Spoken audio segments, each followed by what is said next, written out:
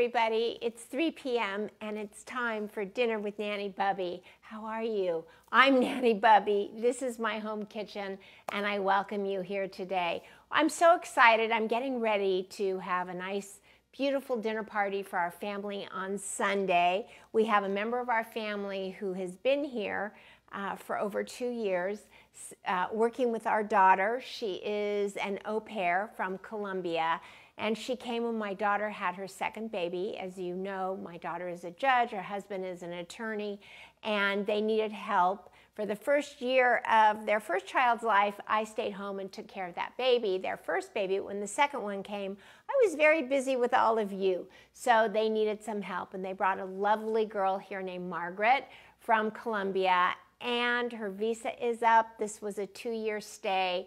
We love her. We did everything we could to see if we could extend the visa, but we could not. And so she is headed back home to Colombia to her family um, on, um, on Tuesday. And so we're having a beautiful dinner party to welcome everybody and to say goodbye to her. Um, and um, so we're sad, but we're just so happy that she was here with us for two years. So I'm making dinner for everybody. I've got a whole menu planned, but what I'm making for you today is a recipe called cacio e pepe, which means cheese and pepper. And they're cheese and pepper cheese balls, which is an appetizer that I think will actually be great for both the kids and for um, the adults. So I'm really conscious these days of making sure let's get to the comments here. Hey Frank, how are you? Of making sure that when I always have something extra spe- special made for the grandkids. And as you know, on Tuesday, I think it was, I made spaghetti pasta cupcakes with mozzarella cheese and parmesan. And so today we're making this cacio e pepe. So let's see who else is here. Can't see yet, but it's loading. There we go. Frank, Susan Mendorf. So as you can see right here, you can see that I have started to scald. Some, one cup of milk is how this starts. We're going to put in um, a half cup of butter, a quarter of a cup of butter, quarter pound of butter actually. And we're going to let this melt. While it's melting here, I'm going to add one cup, or one little teaspoon rather, of butter. Oh my God, I'm so sorry. One teaspoon of salt, just to bring out those flavors as that is melting. And then I'm gonna do something that you rarely see me do. So I always use already freshly ground pepper that I put together um, and I grind in a coffee grinder as you know.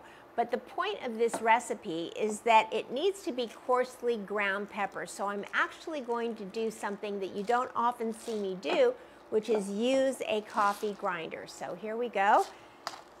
This is, as you can see in there, see that really, really thick, let me take the spoon out here and the wooden spoon and just put in, you can see it getting nice and dark in there. Hey Rocky Nash, how are you? You love butter. I love butter too. That's why we spread love like butter here.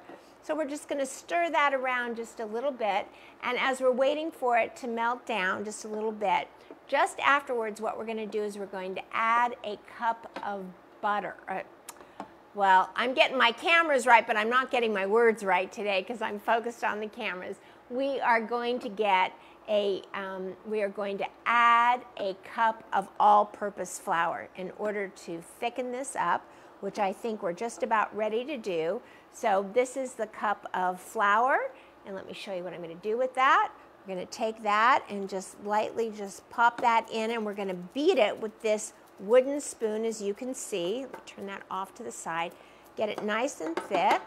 There we go and turn off the fire on that. Whoop.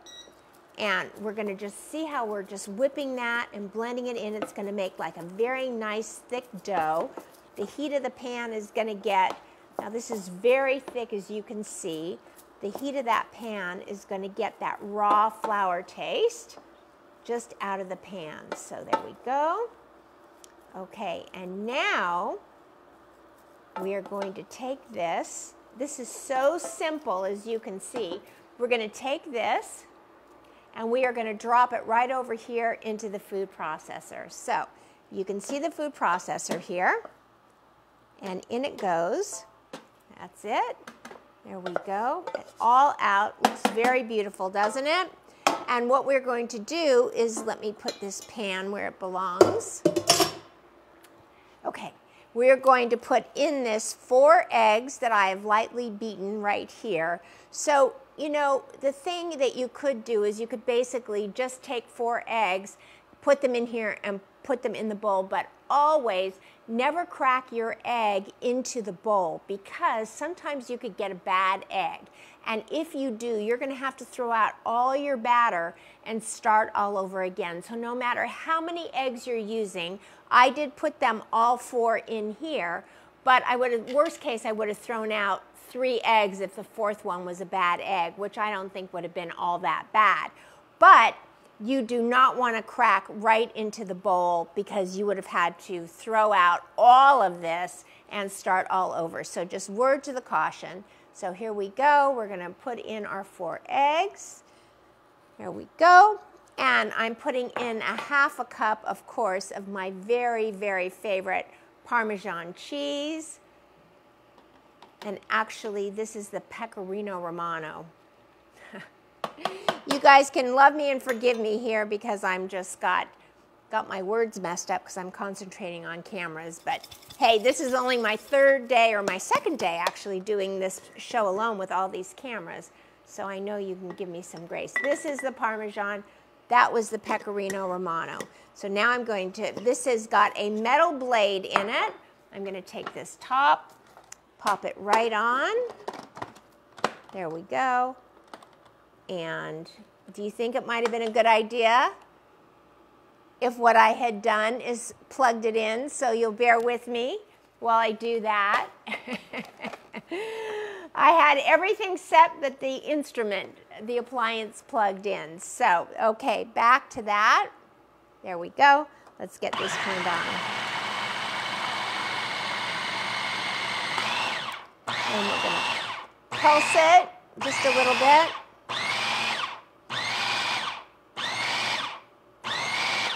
Okay, there we go.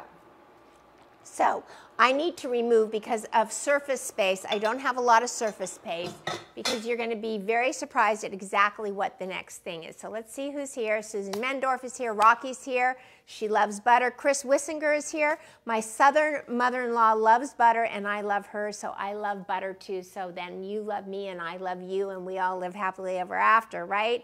Says, uh, says I'm doing great. Thank you. Levant is here. Thank you so much. So we, everybody is tuning in and starting to find us here. So, okay, this is going away. And now the big reveal and the big surprise. This is a pastry bag. If you can see this, Fanyo Romeo is here. We welcome you. I wonder um, who they are. They found us. How nice is that? Okay, so if you can see this, this is a pastry bag. You can see down into the bag here. You see that? Oh, there we go. All the way down in there. And what we are going to do with this is we are going to fill this with this filling that we made right here. And you can see just how beautiful this is. Look at this. Let me take this off and look inside. Isn't that absolutely gorgeous? It's rich, it's buttery, it's eggy, and it's got cheese and pepper in it. So now we're going to take this and we're going to fill this in a bag. So let me get you a better spoon to do that with. So again, I'm having family for dinner on Sunday, and this is an appetizer that I can make ahead, as you can see. It's called cacio e pepe, and there's many ways that Italians use cacio e pepe. Cacio stands for cheese, pepe is pepper. And um, it can be made in pasta. It can be made, in my case, as cheese balls for an appetizer. So that's what I'm intending to do. So let me take this and fill this just a little bit more. It's very, very sticky. So the way that we're going to deal with that right here is we are going to push this down. We're going to squeeze it down. And we'll start out by squeezing it right back into the bowl. That gives us room right here to add more, such as this. Let's see if I put this in here right now, if you'll be able to see what it looks like. So we fold the bag over, as you can see, and which is really a technique because if you don't fold that bowl over, uh, the bag over, what ends up happening is you get all of this sticky mess, whether it's frosting or cacio e pepe, right um, all over the outside of the bag, and it makes it really messy to work with. So can you see that? We're just going to fold this bag right back up like that. And there we go. Okay, so let me set this aside now. There we go. And what we're going to do is grab, so we're going to take a, a half sheet pan. And let me set this, let me see if I can set this where you can actually watch me doing this. So let's see here. Let me set this up for you because I really want to give you the very best view possible. So let's see how that looks. There we go. Okay, so this is a half sheet pan with um, parchment on it. And we're going to start right over here so you can see. And we're going to just squeeze down. There we go. And just make a cheese ball. There we go. And another one. There we go. Can you guys see that? There we go. Okay. Now, let's just roll this like this. And now this called for a round tip. Whoop. And, but my round tip has got swirls in it. So can you see this? There we go. Aren't we loving life now? There we go. Now, you will notice that the cheese balls have a little swirl on the top, but I have a surprise for you as to how that works, what we're going to do with that. Know, we're going to go round and round and round, and up we go. There we go. Okay, Maria Elba's here. Hey there. And there we go. And around. And now what we're going to do is come back and we are going to refill the bag. So over here, just want to keep, the more that's in there, again, we roll it over so that we can keep the outside clean because as you're putting it into the bag, it gets very dirty. The bag does anyway, so. Uh-uh. Not happening here. Let me pull this out. So it's a bit sticky on the inside.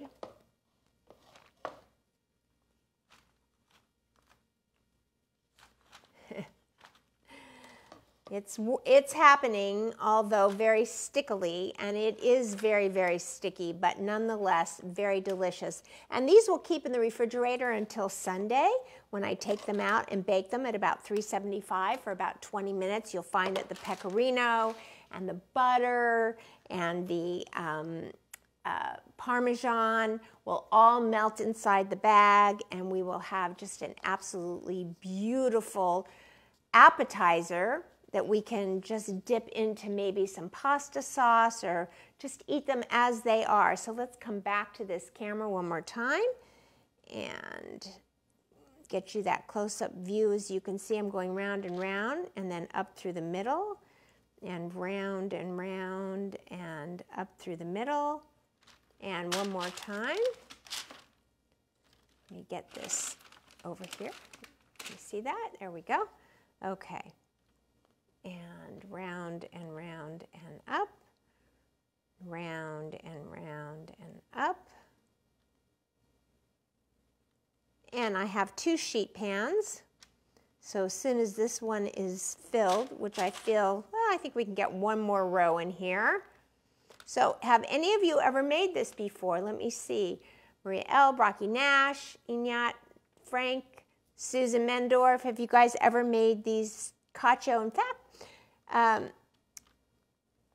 Frank, you do so much Italian cooking. Tell me about the cacio e pepe. Um, are you familiar with it? Do you know anything about it? What's your take on cacio e pepe? So now I am going to move this, if you will, and we're going to come back to this, this other camera. Here we go.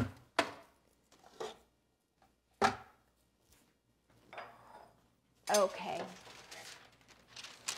Stand by, everybody. Here we go. Okay. I love getting you the very best view that I can. So let's see how this looks. How is this view right here? Are you able to see that? Not so good. Let me move this just a little bit. Move these out of the way. Okay, maybe that's not quite as good as the other ones, so tell you what I'm gonna do. We're gonna grab this pan and just switch places so that we can get back to that view for you. Now there's a trick to this. Cheese balls should be rounded, as you know.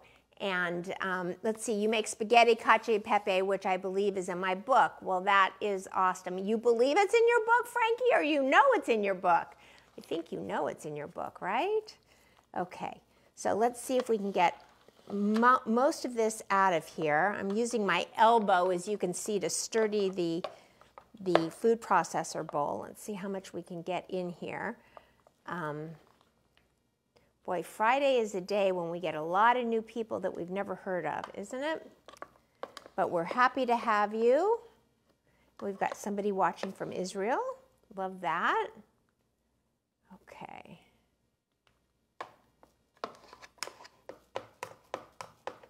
And just pulling this out getting this in there. Okay. And if you're ready, we're going to take this again. Let me just wipe these fingers of mine. And we're going to go back and you're going to watch me one more time. Just line this up. And as we do that, just pay attention here to how this makes, okay? Now you can see these points see. Frank says he believes it's in its book because not all the recipes I wanted in the book made it. Oh, well, next time. That leaves room for a second book, right, Frank? And we have to have you on the show here very soon um, so that we can do the recipes from your book. In fact, I'm planning on looking at a few of those for next week's show, Frank. So I'm going to pay attention to that. Okay, there we go. And squeezing one more time and squeezing again. Okay, get this off. So I'm really looking forward to this dinner party to say goodbye to everybody, or to say goodbye to her anyway. So what I'm going to do is lightly, I have taken my finger, I put just a little bit of water on that on my middle finger, and I'm just going to push that point in push that point in because nobody wants a pointed cheese ball, right? So we're just taking that little point, putting that in. If your finger starts to stick, just wet it again. Wet, wet the finger just a little bit, press it down, press it down, and that's how you get rid of those points on the cheese ball. So here we go. Let's do a little bit more. Another one here. Here we go. These are going to be absolutely delicious, and I bet you the children will eat them too. So, and I actually like that these cheese balls are in a different star filter than normal, so they're not quite smooth. Get my hand down in there. There we go. There we go. Teresa Anderson is watching. Hey, Teresa, so happy that you're here. I'm so happy that, that you made it. We are, this is our tight shot as I'm making cacio e pepe cheese balls. Here we go. And I'm going to do one more. And then again, I'm going to show you via, okay, there we are. So what I want to do is show you that if you look at these, you can see, and I'm going to hold this right under the camera, that they have just these little points on them. And so what you want to do is we're going to take just a small little cup of water or just the measuring cup here. Let me just put a little water in that measuring cup. There we go. Take just a small little cup of water so that we can take our middle finger and just get into the water. And what we'll do is just, as you can see that little point, if I turn that to the side, can you see that just a little bit? And we're just gonna press that point in. There we go. It's because you want your cheese balls to be round, right? Little point there, little point there, little point there. we go. One more. And this tray is now done. So we're going to take this tray right here and um, we're going to move it off to the side. And here we go. and back to the camera so you can see, see all the points. There we go. Pressing them in. Now we're going to cover this. Look at this point. Can you see that? Nice and tall. Let me turn that there so that you can really see how pointed that is. And a little bit of water and the point just goes in and it's round. There we go. And that's as easy as that is. Just get those points right off. And we've got beautiful round cacio e pepe cheese balls. Okay, let's see who else is there. Teresa and so many others. Well, there we go, everybody. How did you like that? That's it. That's as easy it is, as it is. We're going to cover these with a little bit of parchment, not a little bit, just very lightly over the top, and then some foil so the foil doesn't uh, stick. And we will put these in the oven at 375 degrees on Sunday for about 20 minutes. They'll get nice and bubbly and brown. I'll be able to take them out, cool them, and not only will the adults have them, but I have a funny feeling this will be something that the kids will have as well. I'm going to finish it all up and I will, if I have time, I always say I'll take pictures on Sunday, but the truth is, when I'm present with my family, I'm actually not thinking of you. I think of you when I'm here with you and two hours before I get to you because I'm always curious about what I am doing and I start thinking of all of you. But when it comes to being with my family, I'm 100% all in with them. But I will try to take a picture and share it with you. Frank says, I've been so busy I haven't had five minutes to even open and read my own book. Well, listen, Frank, stand by because Nanny Bubby really is going to want to go through it um, over the weekend. Well, I won't, really won't have time over the weekend, but in the next week, sometime in the next week, I'll have a chance to get, go through it and really uh, spot something that maybe I'd like to make here. And then we'll set up an interview, Frank, and hopefully we can talk through if there's somewhere you can go and I can cook with you. That would be really fabulous. So that's it for today, everybody. Cacio pepe cheese balls. Actually, it's an Ina Garten recipe, and you can find it at the Food Network Kitchen app or on foodnetwork.com. And um, thanks for being here, everybody. Love it when you are. Hi there, Maria. And um, to all of you who join every day, I wish you a wonderful weekend. Thank you so much for being here. I'm going to blow you a kiss, and I'm going to ask you to spread love like butter. And when I do that, stand by for a fabulous close to the show. So on the count of three, say it with me, everybody. One, two, three. Go out and spread love like butter. Here we go.